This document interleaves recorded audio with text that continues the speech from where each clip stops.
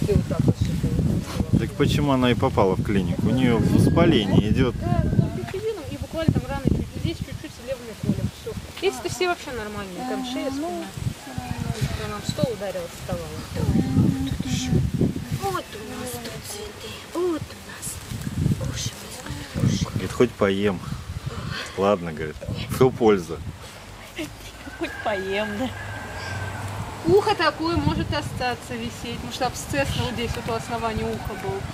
Удаляли, а может не будет висеть. Никто не знает. Может, она его пока просто ищет.